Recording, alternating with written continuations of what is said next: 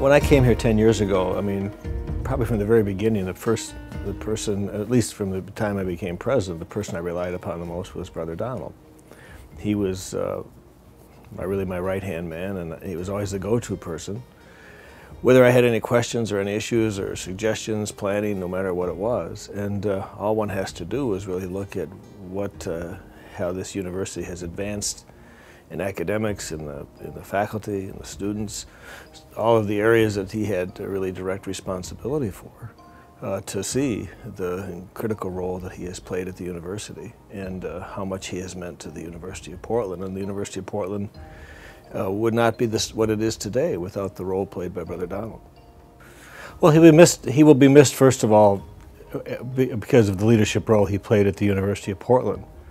But I'll miss him also just not having here available as a good friend, a great friend, and somebody that, uh, you know, Brother Donald is as solid as a rock. He is, he has great institutional memory. He uh, shows great leadership, uh, and somebody that's just a very close personal friend that I'm going to miss a great deal. I mean, he, would, he was one of our most popular teachers.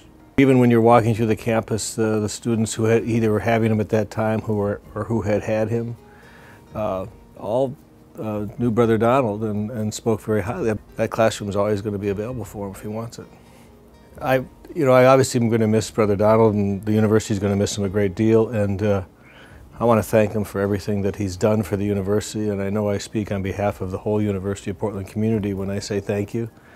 Uh, you've done an incredible work here. You're going to be greatly missed. Uh, as Holy Cross priest, obviously, I'm looking forward to the work you're going to do with the province but also look forward to when you come back to the university.